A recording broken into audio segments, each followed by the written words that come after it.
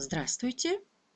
Многим, наверное, известна такая картина, когда, приехав в город, многие хватаются за лопату, грабли, топор и дают полную волю своей силушке.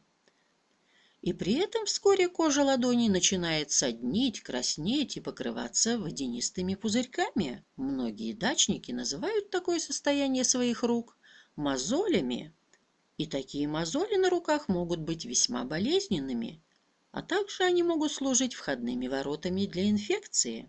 С точки зрения медицины, чрезмерное механическое воздействие на одни и те же участки кожи при ручном труде вызывает острый контактный дерматит или потертость.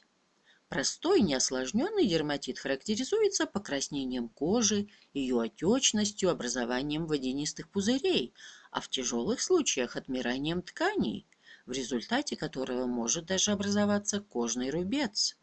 То, что мы называем мозолями, является защитной реакцией кожи на длительное постоянное воздействие на кожу и проявляется в утолщении рогового слоя, который защищает от повреждения более глубокие и нежные слои кожи и подлежащих тканей. При легкой форме мозолей ороговение носит лишь поверхностный характер – но при постоянной физической работе могут развиться и хронические патологические изменения в глубоких слоях. Поэтому при дачных работах лучше всего все-таки защищать руки при помощи перчаток. И лучше, конечно, чтобы перчатки были с многослойным полимерным напылением.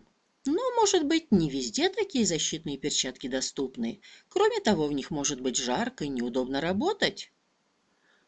Но если вы все-таки увидели, что ваши руки натерты и появились мозоли, то можно приготовить домашнее средство.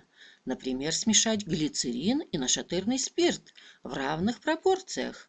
Полученную смесь нужно перед сном, после бани, после душа втирать в кожу рук и не смывать до утра. Эта смесь из глицерина и нашатырного спирта очень поможет рукам, и состояние кожи заметно улучшится к утру. Будьте здоровы!